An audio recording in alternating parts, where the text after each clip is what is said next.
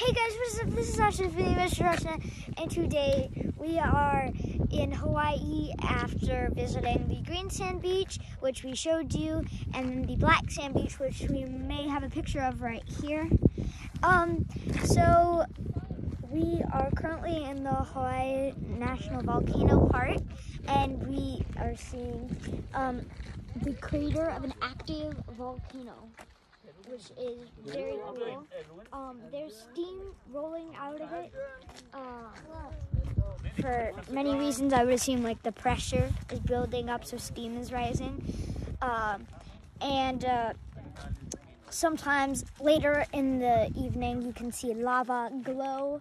But that will most likely not be happening because of the weather conditions that have taken a turn for the worse and now are quite cold and wet.